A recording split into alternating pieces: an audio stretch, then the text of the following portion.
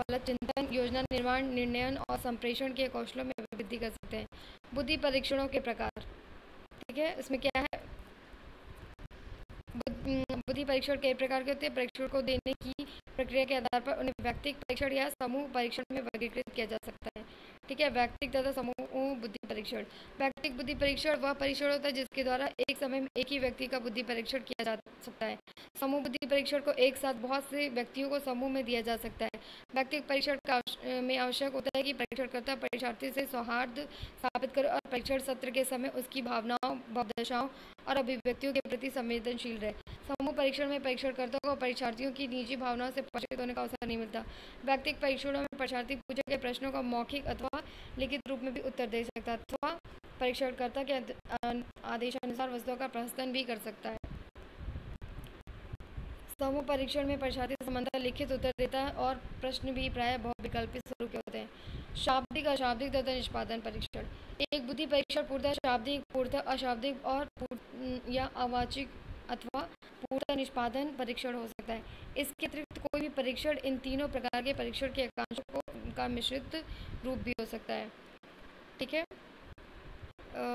अशाब्दिक परीक्षण में एकांशों के रूप में चित्रों अथवा चित्र निरूपणों का उपयोग किया जाता है। अशाब्दिक परीक्षणों का एक उदाहरण रेवंस प्रोग्रेसिव मैट्रिसेस, आरपीएम है, जिससे परीक्षार्थी को एक अपूर्ण प्रतिरूप दिखाया जाता है और उसे दिए गए अनेक वैकल्पिक प्रतिरूपों में उस विकल्प को चुनना होता है, जिससे अपूर्ण प्रतिरूप पूरा हो सके। ठीक है? ये देखिए। ये रहा। रेवन प्रोग्रेसिव मैट्रिसेस परीक्षण का एक एकांश, ठीक है? ये निष्पादन परीक्षण में परीक्षार्थी को कोई कार्य संपादित करने के लिए कुछ वस्तुओं या अन्य सामग्रियों का प्रदर्शन करना होता है। एकांशों का उत्तर देने के लिए लिखित भाषा के उपयोग की आवश्यकता नहीं होती। उदाहरण के लिए, को के block design block design test में लकड़ी के कई घनाकार गुटके होते हैं। परीक्षार्थी को दिए गए समय के अंतर्गत गुटकों को एक प्रकार बिछाना होता है। उनसे दिया गया डिज़ाइन बन जाए। निष्पादन परीक्षण का एक लाभ यह है कि इसमें उन्हें भिन्न भिन्न संस्कृतियों के व्यक्तियों को आसानी से दिया जा सकता है। ठीक है, आगे देखेंगे हम लोग। संस्कृति निष्पक्ष तथा संस्कृति अभिमत, अभिनत परीक्षण। बुद्धि परीक्षण, संस्कृति निष्पक्ष अथवा संस्कृति अभिमत, अभिनत हो। सकते हैं। बहुत से बुद्धि परीक्षण उस संस्कृति के प्रति अभिनति प्रदर्शित करते हैं, जिससे वे बुद्धि परीक्षण विकसित किए किए जाते हैं। अमेरिका तथा यूरोप में विकसित किए गए बुद्धि परीक्षण नगरी तथा मध्यवर्गीय सांस्कृतिक लोकाचार का प्रतिनिधित्व करते हैं।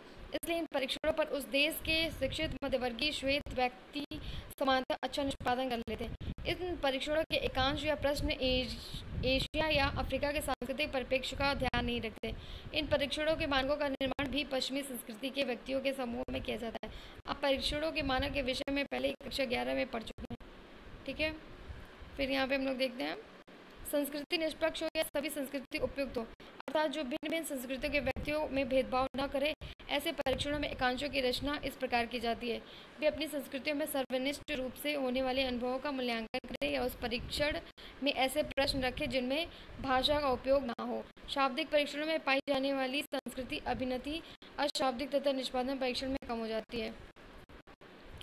भारत में बुद्धि परीक्षण। 1930 में एस एम मोहसिन ने हिंदी भाषा में बुद्धि परीक्षण के निर्माण का प्रयास करके एक पद प्रदर्शन कार्य किया है। C H Rice. ने विनय की बुद्धि परीक्षण को उर्दू तथा पंजाबी भाषा में मानकीकृत करने का प्रयास किया। लगभग उसी समय माला नोबस ने विनय के परीक्षण को बंगाली भाषा में मानकीकृत करने का प्रयास किया। भारतीय शोधकर्ताओं ने पश्चिमी देशों में बने कुछ बुद्धि परीक्षणों जैसे Raven's progressive matrices RPM, Wechsler adult intelligence scale, वैस, अलेक्जेंडर का पास अलोंग परीक्षण, घन रचना क्यूब कंस्ट्रक्शन परीक्षण तथा को ब्लॉक डिज़ाइन परीक्षण आदि। का भारतीय मानक विकसित करने का प्रयास किया। लॉन्ग तथा मेहता। ने एक मानसिक मापन पुस्तिका प्रकाशित की जिसमें भारत की विभिन्न भाषाओं में उपलब्ध 103 बुद्धि परीक्षणों की सूची है। उसके बाद से बहुत से नए बुद्धि परीक्षण या तो विकसित किए गए या फिर पश्चिमी संस्कृतियों में निर्मित परीक्षणों का भारतीय संस्कृति के लिए उपयुक्त अनुकूलन किया गया राष्ट्रीय शैक्षिक अनुसंधान और प्रशिक्षण परिषद एन के शैक्षिक तथा मनोवैज्ञानिक परीक्षणों के राष्ट्रीय पुस्तकालय N L E P T ने भारतीय परीक्षणों के प्रलेखन के बाद अभिलेख तैयार किए। भारतीय परीक्षणों के आलोचनात्मक पुनर्परीक्षण पुस्तिका के रूप में प्रकाशित है। N L E P T ने बुद्धि अभिक्षमता व्यक्तित्व अभिवृत्ति और अभिरुचि आदि के परीक्षणों की एक पुस्तिका प्रकाशित की है। ये देखिए यहाँ पे क्या है। भारत में विकसित कुछ परीक्षण हैं, शाब्दिक है और निष्पादन, ठीक है? उदय शंकर द्वारा विकसित सी आई ई शाब्दिक समूह बुद्धि परीक्षण। एस जलोटा द्वारा निर्मित सामान्य मानसिक योग्यता का परीक्षण, समूह परीक्षण, प्रयाग मेहता द्वारा निर्मित समूह बुद्धि परीक्षण, एम एस मोहसिन द्वारा निर्मित बिहार टेस्ट ऑफ़ इंटेलिजेंस, मनोविज्ञान ब्यूरो इलाहाबाद द्वारा निर्मित समूह बुद्धि परीक्षण ए एस के कुलश्रेष्ठ द्वारा स्टैनफोर्ड बिने परीक्षण, तृतीय संस्करण का भारतीय अनुकूलन, एम सी जोशी द्वारा निर्मित सामान्य मानसिक योग्यता हिंदी परीक्षण। अब देखिए निष्पादन में क्या है? सी आई ई अशाब्दिक समूह बुद्धि परीक्षण, भाटिया द्वारा निर्मित निष्पादन परीक्षण माला।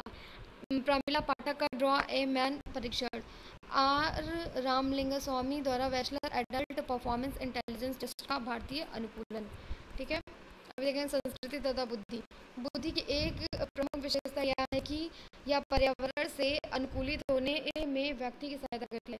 व्यक्ति का सांस्कृतिक पर्यावरण बुद्धि के विकसित होने में एक संदर्भ प्रदान करता है।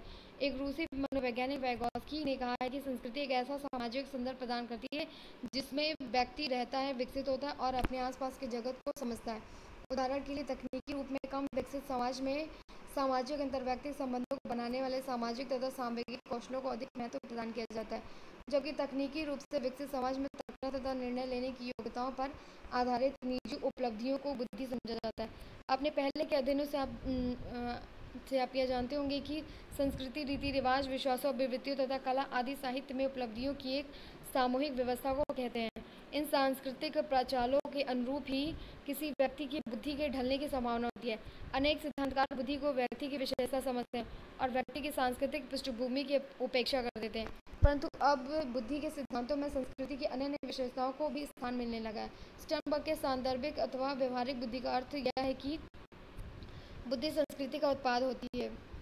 वैगोस्की का भी विश्वास था कि व्यक्ति की तरह संस्कृति का भी अपना एक जीवन होता है, संस्कृति का भी विकास होता है और उसमें परिवर्तन होता है। इसी प्रक्रिया में संस्कृति ही यह निर्धारित करती है कि अंततः किसी व्यक्ति का बौद्धिक विकास किस प्रकार होगा। वैगोस्की के अनुसार कुछ प्रारंभिक मानसिक प्रक्रियाएँ जैसे रोना, माता की आवाज़ की ओर ध्यान देना, सूंघना, चलना, दौड़ना आदि सर्वव्यापी होती है, परंतु उच्च मानसिक मानसिक प्रक्रिया जैसे समस्या का समाधान करने तथा चिंतन करने आदि की शैलियाँ मुख्यतः संस्कृति का प्रतिफल होती हैं।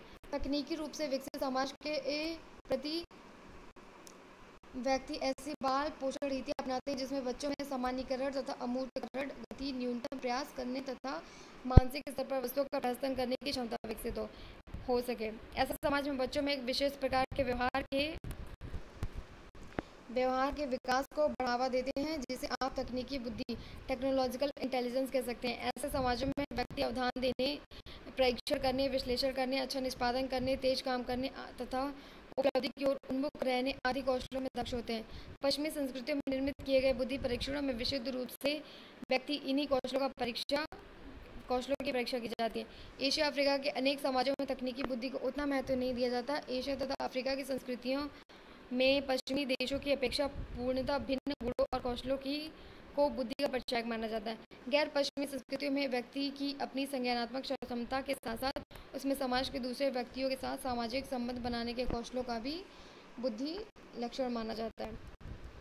कुछ गैर पश्चिमी समाजों में समाज केंद्रित तथा सामूहिक उन्मुखता पर बल दिया जाता है, जबकि पश्चिमी समाजों में निजी उपलब्धियों तथा व्यक्तिपरक उन्मुखता को अधिक महत्व दिया महत्वपूर्ण माना जाता है।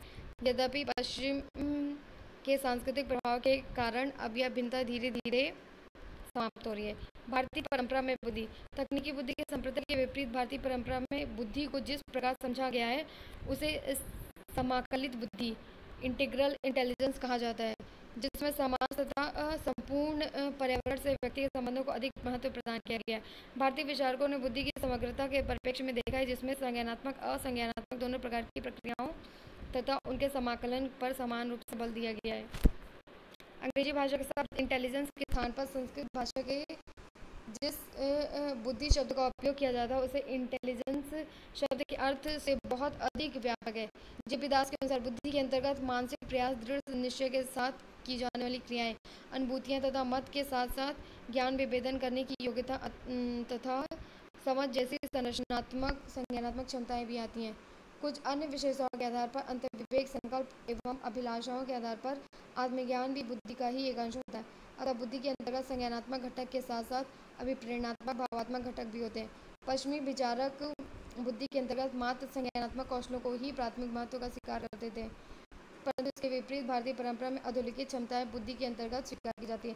संज्ञानात्मक क्षमता कॉग्नेटिव कैपेसिटी संदर्भ के प्रति संवेदनशीलता समझ विभेदन क्षमता, समस्या समाधान की योग्यता तथा प्रभावी संप्रेषण की योग्यता, सामाजिक क्षमता सोशल कंपोनेंट सामाजिक व्यवस्था के प्रति सम्मान, अपनों से बड़ों, छोटों तथा वंचित व्यक्तियों के प्रति प्रतिबद्धता, दूसरों की चिंता, दूसरे व्यक्तियों के परिपेक्ष का सम्मान सांवेगिक क्षमता इमोशनल कॉम्पिटेंस अपने संवेगों पर आत्म नियमन तथा आत्म परिवीक्षण ईमानदारी, शिष्टता अच्छा आचरण तथा आत्म मूल्यांकन उद्यमी क्षमता ऑन्टरप्रेन्योरियल कॉम्पिटेंस प्रतिबद्धता अध्य व्यवसाय धैर्य, कठिन परिश्रम, सतर्कता तथा लक्ष्य निर्देशित व्यवहार।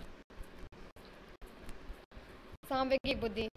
सांवेगिक बुद्धि का संप्रदाय बुद्धि के संप्रदाय को उसके बौद्धिक क्षेत्र में से अधिक विस्तार देता है। सामयिकों को भी बुद्धि के अंतर्गत सम्मिलित करता है। सामयिक बुद्धि का संप्रदाय समान बुद्धि की भारतीय परंपरा की अवधारणा से निर्मित हुआ।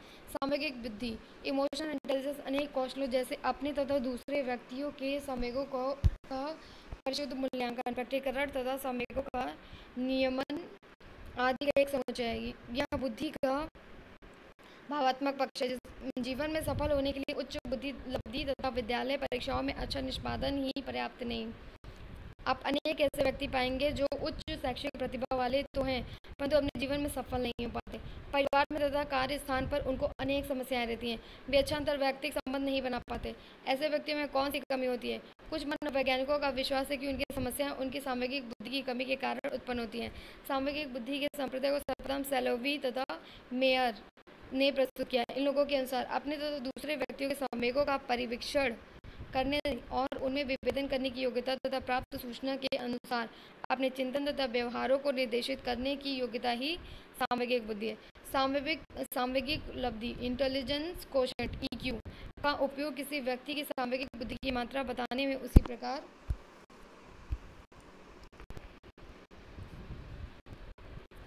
संवेगत बुद्धिमान व्यक्तियों की विशेषताएँ यहाँ पे दिया हुआ है, ठीक है? पहले इसको देख लेते हम लोग। जिस प्रकार किया जाता है, जिस प्रकार बुद्धि लब्धि आईक्यू का उपयोग बुद्धि की मात्रा बताने में किया जाता है। साधारण शब्दों में सामग्री सूचनाओं की परिशुद्धता तथा कुशलता के साथ प्रक्रमण करने की योग्यता ही